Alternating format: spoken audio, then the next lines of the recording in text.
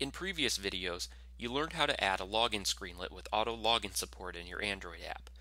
In this video, you'll learn how to add OAuth support. First, let's take a look at the app I'll be adding OAuth support to. It contains login screenlet, which is handled in the main activity. It also contains an auto login activity, which contains a simple text view. The auto login activity's code contains the logic that checks if a session exists and then loads save sessions from shared preferences. This is described in detail in the video on implementing auto login. Running the app in an emulator, you can see that there's not a saved session. In the following steps, I'll implement OAuth support in this app.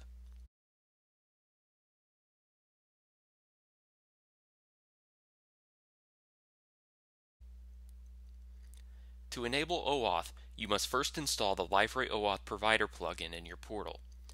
Note that this plugin is only available to Liferay EE customers. You can get this plugin through the Liferay Marketplace.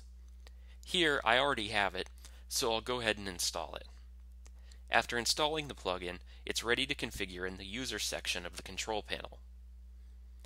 In the control panel, click Users and then OAuth Admin you must first create a new OAuth app here.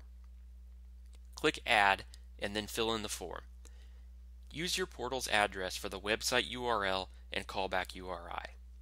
Click Save when you're finished. Your new OAuth app then appears in the table. You can see that there aren't any authorizations yet.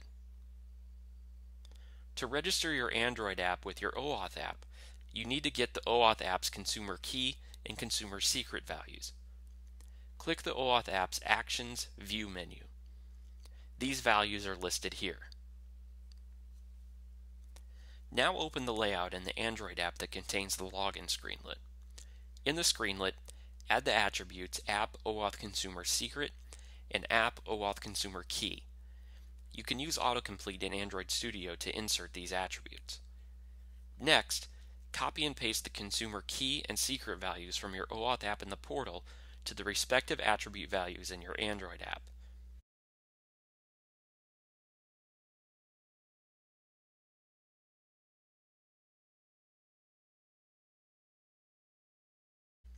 You also have to send the result to your login screenlet. To do this, define a field using the login screenlet instance in the activity, and then use the send OAuth result method.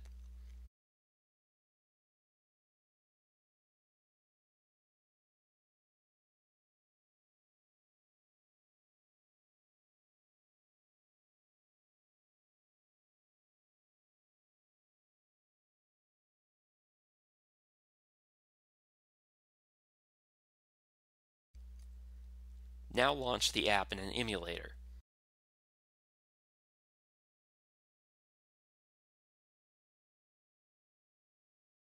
You can see that the login screenlet has been replaced with an Authorize button that redirects to the Liferay portal instance.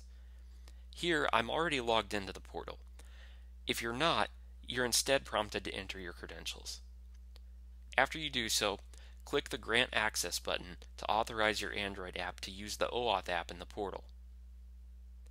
Now return to your Android app in the emulator and click the Authorize button again. This time, you're taken directly to the app's content. If you close and relaunch the app, you can see that it opens without requiring further authorization. This is because the screenlet is using the stored OAuth token for authentication. Now return to OAuth admin in your portal. You can see that the number of authorizations has increased by one. This authorization is your Android app. Nice work!